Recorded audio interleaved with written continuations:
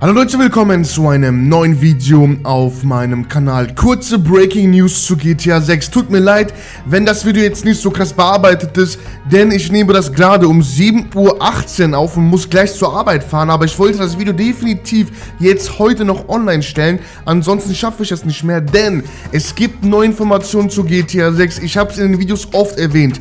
Am 16. Mai ist die Pressekonferenz von Take-Two Interactive. Dort werden sie die Quartalszahlen offenlegen und die Wahrscheinlichkeit ist sehr hoch, dass Rockstar Games auch kurz vorher etwas zu GTA 6 droppt. Das haben sie in der Vergangenheit immer gemacht, dass wenn die Pressekonferenz von Take-Two stattfindet, kurz vorher haben sie immer etwas Neues zu den neuen Projekten veröffentlicht und das wird diesmal anscheinend genauso passieren, denn Rockstar Games bereitet sich vor.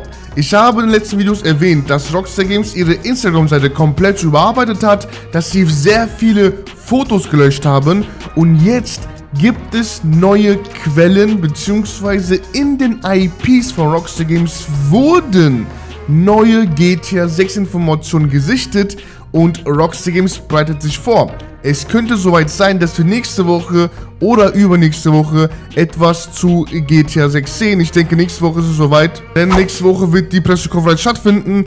Das heißt, Rockstar Games könnte den Trailer raushauen mit mehr Informationen zum Release, zum Vorbestellen, denn wenn wir uns das hier mal anschauen, Rockstar Games hat neue Screenshots hochgeladen, die noch nicht online sind. Da hat auch zum Beispiel jemand geschrieben, Breaking News, Rockstar Games hat offenbar zahlreiche Erwähnungen von GTA 6 zu seiner IP hinzugefügt. Dazu gehören Erwähnungen von Screenshots, die als Bildschirme bezeichnet werden und sogar das Cover-Artwork. Und da haben sie noch ein Beispiel hinzugefügt. Also die Ankündigung könnte sehr bald bevorstehen und es sieht sehr, sehr gut aus für uns, dass wir bald auch das vorbestellen können, ne? Und was ist eine API? Eine API ist eine Programmierschnittstelle, häufig nur kurz API genannt, ist ein Programmteil, der von einem Software-System anderen Programmen zur Anbindung an das System, ich habe keine Ahnung, was es ist, aber es sieht so aus, als würden das Screenshots sein, die bezüglich GTA 6 sind und wir bekommen anscheinend bald neue Informationen. Ich bin heiß, ich hoffe, das wird nächste Woche passieren. Ich bin sehr, sehr gespannt ich hoffe sehr, das haben sie mit RDR 2 im Mai genauso gemacht, 2017, dass wir Screenshots bekommen haben und dann neue Informationen zum Release und so weiter und so fort.